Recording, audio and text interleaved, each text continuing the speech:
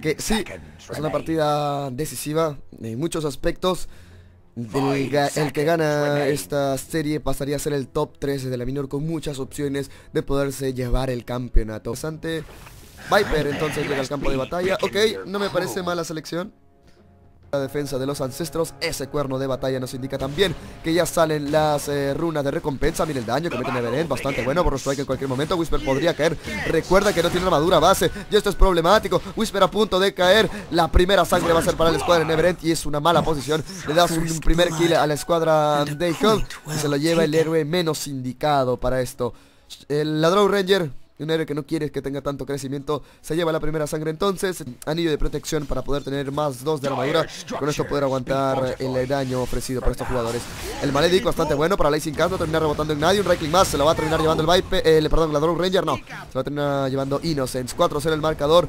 Está haciendo unas líneas dominadas por parte de Ihom hasta cierto momento. En la línea del medio, Shadowfin ya le ha sacado una muy buena cantidad de last hits a Viper, que solamente tiene 7. En la línea de Borom Draw Ranger está dominando completamente el encuentro.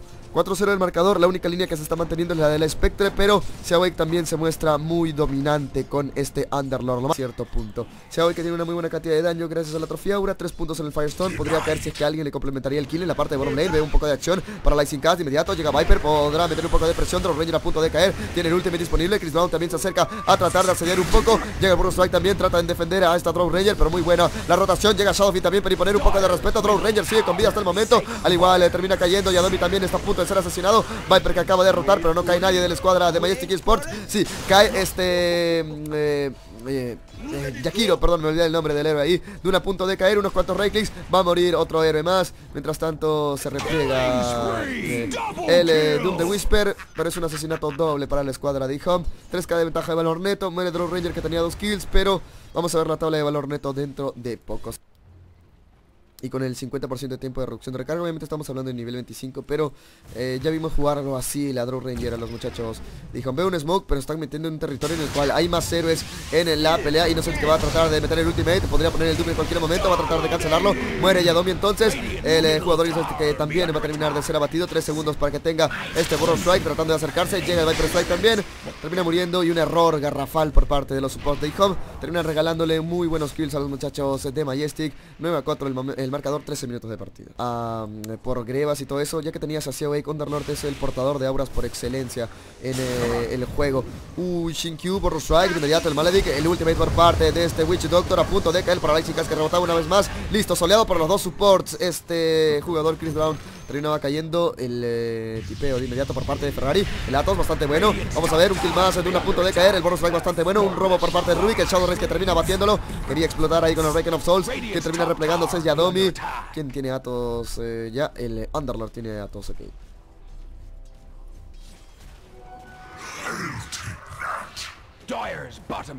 Sabe que seguro va a optar por todo esto, va a ir por Grevas, va a ir por Pipe of Insight, va a ir por Crimson Guard. Por esto Ferrari no ha optado por ir por Grevas del Guardián y por eso ha optado por ir eh, por una build un poquito más orientada al daño. Pit of Malice por parte de Xiaowei. Va a venirse una pelea. Eso es peligrosísimo. Uy, llega de inmediato el alfa del Doom. Bastante bueno. Deshabilita a Ferrari. Llega el Hound también. Este es el contragolpe de la escuadra de Majestic. El momento esperado para poder contragolpear. Ferrari a punto de caer. Llega el Fate Ball. Está un right click. Ahí está. Se lleva un muy buen kill. 330 de oro para Héctor. Podrían tratar de tomar otro kill. Ferrari acaba de morir. No tienen cómo defenderse los muchachos eh, de Home. Se termina replegando este Sunkin.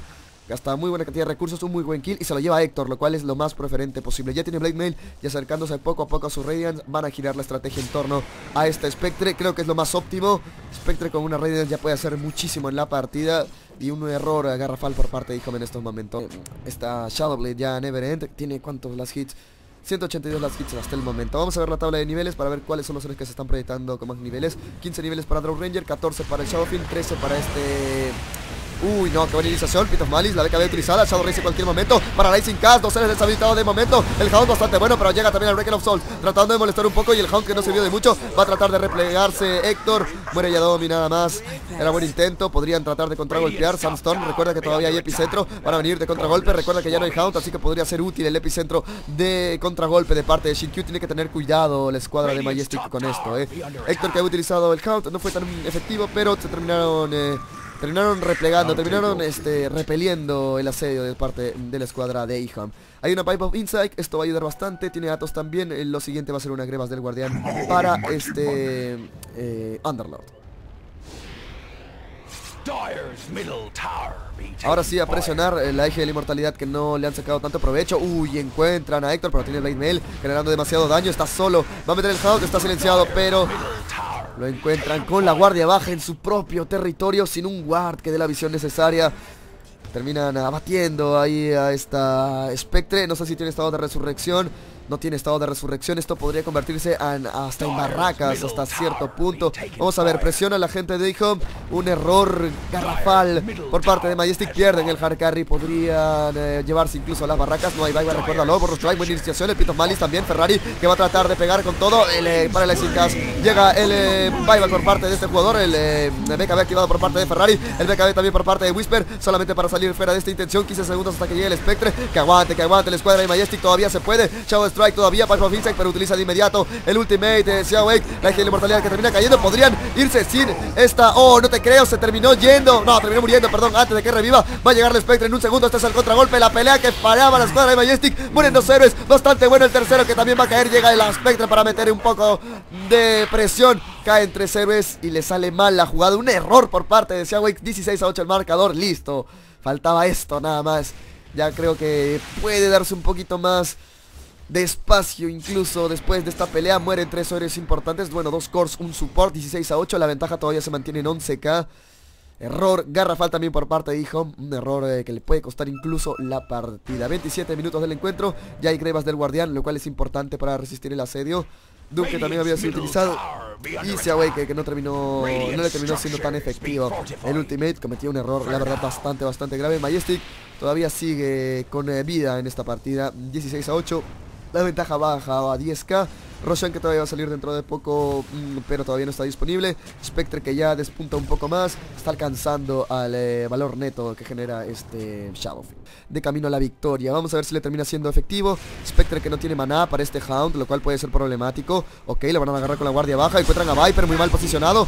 Todo encima de este Viper, adiós. Duró 3 segundos, y ahora de contragolpe, Hound eh, ya está disponible por parte del Spectre, regresaba a su base de inmediato. Dime si tiene estado de resurrección este Viper, es una apertura bastante buena. Sí, sí tiene estado de resurrección lo cual todavía lo mantiene vivos a los chicos de Majestic. Se repliega nada más a la gente eh, de iHome.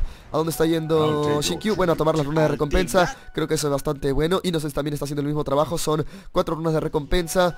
Una muy buena cantidad, 400 de oro en el global para todo el equipo. Spectre que se quería lanzar de cara. Neverend que todavía no tiene esta Silver Edge. Con la Silver Edge te podrías dar esperanzas como para poder lidiar en contra de Spectre. Si hay posibilidades de lidiar en contra de Spectre para iHome, esta Silver Edge lo es.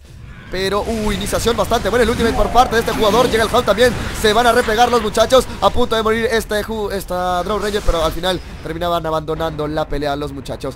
El eh, ultimate por parte de Xiaowei que terminó siendo efectivo Casi les termina pasando factura. Y ahora sí, de contragolpe van a venir de nuevo. Y ya no hay habilidades inteligentes, lo dijo Para tratar de forzar todas esas habilidades de parte de los muchachos de Majestic.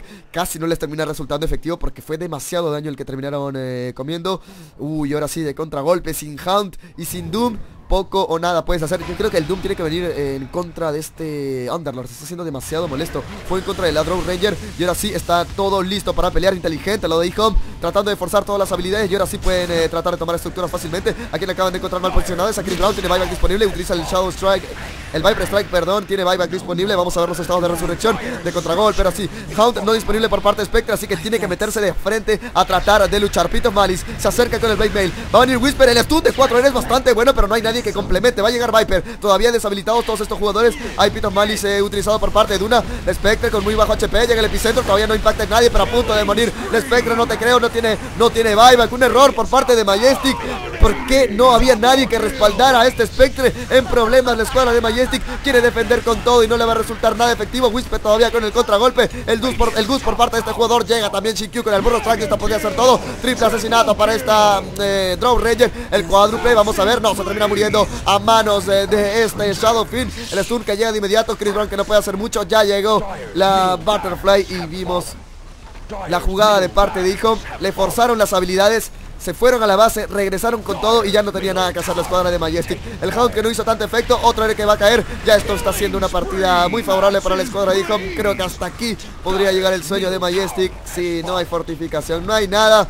El ancestro que ya terminó siendo expuesto. No, ya esto ya es GG. Listo. La historia de Majestic concluye con esta partida.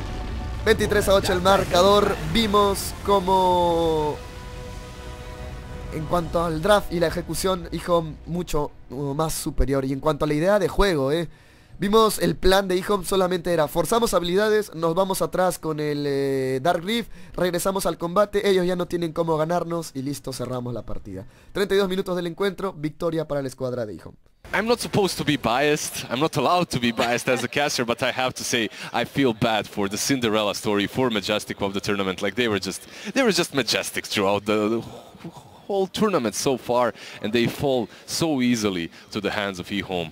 That's ah, it, it's just bittersweet, I guess. I don't know. It's surprising. I mean, at the same time, though, you have to be kind of happy for eHome because they, they didn't look so great earlier on throughout this tournament. We were a bit worried that, you know, they weren't going to mm. have very good games, but we got one heck of a game out of them today, and it's, it's best of ones, right? They're finally playing like the eHome we usually expect, right? Like, they've had problems with their players. They are not here in full strength, and they're finally showing up. I, I, I guess when the pressure of dropping out in these low...